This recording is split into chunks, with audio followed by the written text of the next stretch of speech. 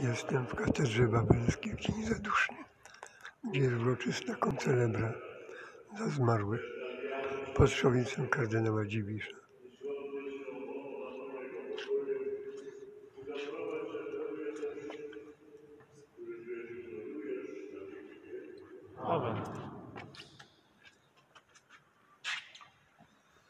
Pański, niech zawsze będzie z wami. I z duchem Przekażcie sobie znak pokoju. pokój nam wszystkim.